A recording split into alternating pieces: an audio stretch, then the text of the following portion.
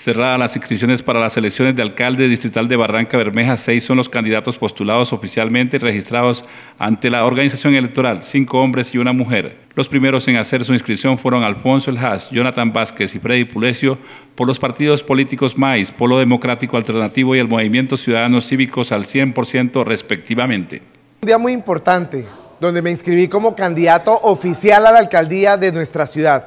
Quiero enviarle un mensaje a todos los barranqueños, Vamos a recuperar la confianza, podemos hacer más. Quiero decirles que nuestro gobierno empieza en la campaña.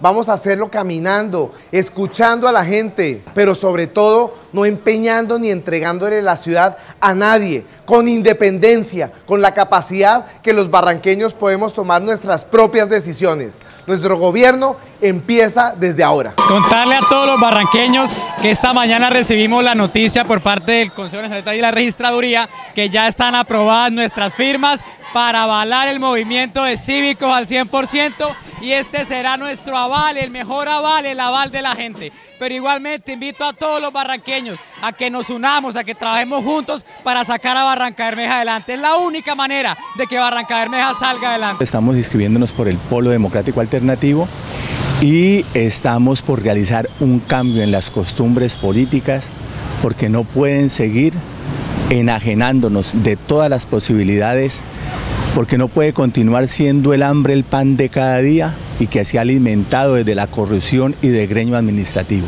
Lo propio hizo Claudia Andrade de Colombia Renaciente y Colombia Humana, Nicolás Contreras Báez por el Movimiento Ciudadano Nueva Barranca Bermeja y Pablo Arteaga del Partido Reivindicación Étnica PRE. Por eso la propuesta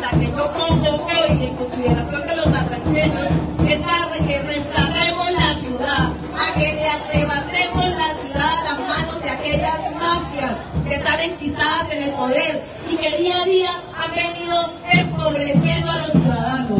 Luego esto no será una campaña en el caso nuestro, será una cruzada. Y por primera vez Barranca será utilizada por una mujer. Vamos a recuperar la confianza vamos a recobrar el valor de la honestidad y vamos a escribir este proyecto de ciudad, el proyecto de la nueva Barranca Bermeja, con muchos ejes programáticos, con muchas propuestas que nos conformarán las bases de la nueva Barranca Bermeja. Nuestra aspiración a la alcaldía va fortalecido y respaldado con un programa de gobierno, el cual está conformado por 10 ejes, los cuales aspiramos a desarrollar durante los cuatro años. Estos 10 ejes estarán dentro del plan de desarrollo, si Dios lo permite, y la idea que queremos desarrollar en estos ejes es poder generar una diversificación de la economía a nivel. En el caso de Contreras Báez, deberá esperar que la organización electoral avale las firmas que presentó para continuar en el proceso con miras a los comicios de octubre próximo.